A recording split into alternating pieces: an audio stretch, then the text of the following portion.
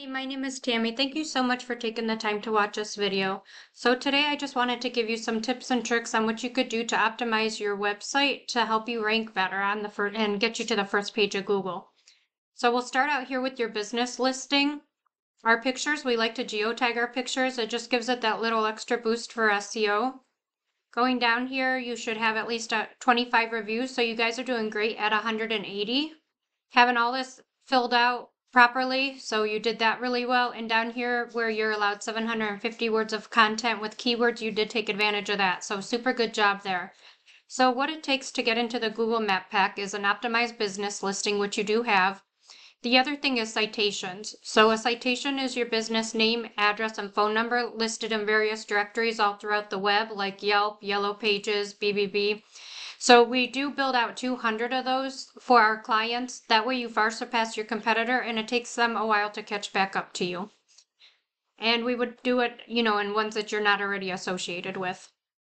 Now going over to your website, I always point out something nice that I love about a client's website. I really like that you have all the content in here. The content is key.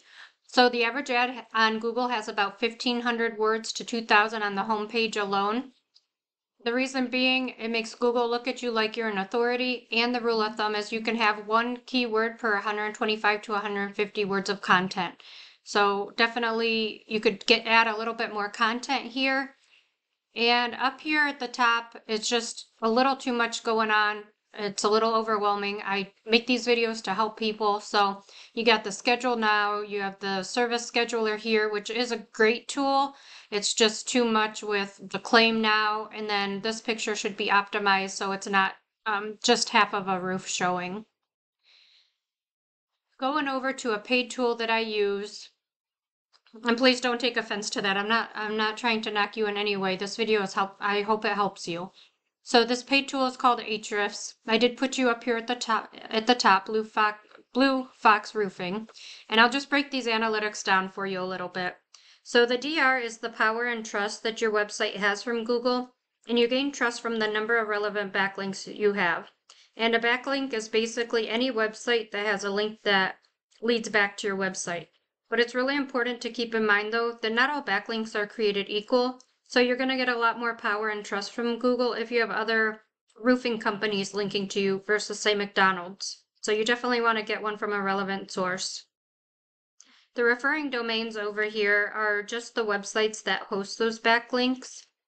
You do have 309 organic keywords and getting around 289 people visiting your site each month. And it does look like you're paying for some ads too. So I'm going to go over to Roofers North Carolina I just wanted to show you their website because it's pretty simple to the point. You can get right here. It's right in the customer's face, so they're not kind of overwhelmed with other things that might be taking them away. You want them right in here, filling this out so you guys can get the lead right away. So I put them up here into Ahrefs and just going over their analytics a little bit for you. Uh, they do have 1300 backlinks. So you had 300 some organic keywords. This is why um, content is key because they're able to put in more organic keywords. And so they're getting, it's not as much traffic as you, but they're not paying. They're getting this organically.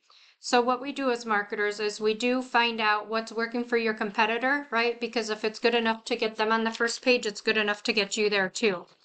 So we do look under keywords that are over here, the search volume, how many times per month a certain keyword is searched, and the KD, which is the keyword difficulty or how difficult it is to rank a certain keyword. And then if you do want to, you know, continue to pay for ads, it tells us how much it would be to pay for that key phrase and an ad.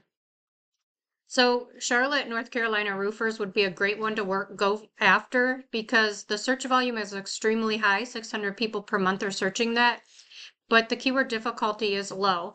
So once we get you ranking and then on the first page, then we can go after the ones that are, you know, 20 or above that are a little more difficult to rank for. The reason I did choose Southern Roofing is because they were up here in the Google Map Pack or organically.